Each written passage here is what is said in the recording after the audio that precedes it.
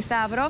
Και για να γνωρίσουμε τώρα ένα χωριό της Αργολίδας που αν μη τι άλλο από ό,τι φαίνεται και όπως θα μας πει και ο συνάδελφος εκεί είναι όχι απλά λάτρεις του χόκεϊ, είναι και πρωταθλητές. Δεν ξέρω αν τα λέω καλά Γιώργο. Γιώργος Νικολόπουλος, δημοσιογράφος αργολικά.gr. Καλημέρα.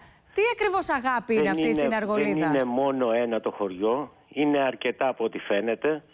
Ε, βρήκαμε ότι υπάρχουν στο Άργο, στην ευρύτερη περιοχή, 12 ομάδες του χόκεϊ. Ε, σε χωριά όπως η Στέρνα που δεν έχουν ομάδες ούτε καν ποδοσφαίρου. Πώς ερμηνεύεται όλο αυτό; Ε, υπάρχει, έχει στηθεί μια βιομηχανία στο Άργος ε, ναι. η οποία προσπαθεί να περάσει αθλητές, να περάσει μαθητές μάλλον μέσω του αθλητισμού, μέσω του χόκεϊ στα ΑΕ και στα ΤΕΗ. Ε, τα παιδιά γράφονται στις ομάδες αυτές. Ε, ουσιαστικά είναι δύο οι ομάδες, αλλά από ό,τι φαίνεται βάζουν και κάποιες άλλες στα χαρτιά για να φανεί ότι είναι ολόκληρο πρωτάθλημα. Πανελλήνιο πρωτάθλημα. Άρα για, για, για, για, να δω αν το έχουμε καταλάβει σωστά Γιώργο, ε, εδώ είχε στηθεί μια πολύ καλή κομπίνα όπου είχαν στηθεί όχι απλά μαϊμού ομάδες, χόκεϊ, αλλά και μαϊμού πρωταθλήματα, προκειμένου τα παιδιά, τα οποία, πανελλήνια, τα οποία ε, παιδιά, ε, τα οποία φαινόταν ότι συμμετείχαν, ότι ήταν ε, πανελλήνιοι πρωταθλητές, έπαιρναν κάποια μπόνους, μόρια που λέμε, για να εισαχθούν σε πανεπιστημιακά ιδρύματα. Σε πανεπιστημιακά ιδρύματα δεν ξέρουμε τα παιδιά, δεν ανακοινώνονται τα αποτελέσματα αυτών των ε, μοριοδοτήσεων.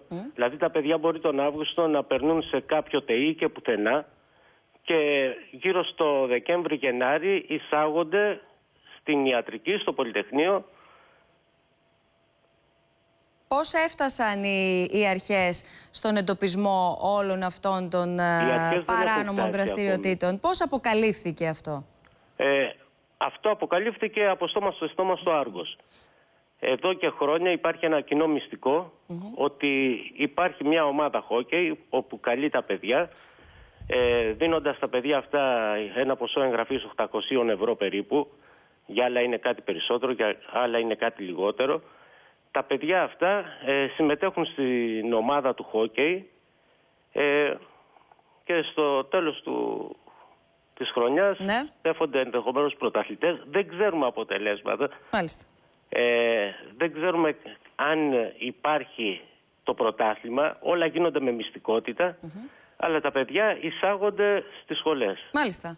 Γιώργος, σε ευχαριστούμε πολύ. Από ό,τι καταλαβαίνουμε τώρα αρχίζει να ξετυλίγεται αυτή η υπόθεση. Έχουμε λοιπόν να δούμε πολλά στοιχεία και ονόματα ενδεχομένως να βγαίνουν. Σε ευχαριστώ πολύ. Γιώργος Νικολόπουλος, δημοσιογράφος, αργολικά.gr. Επιστρέφω.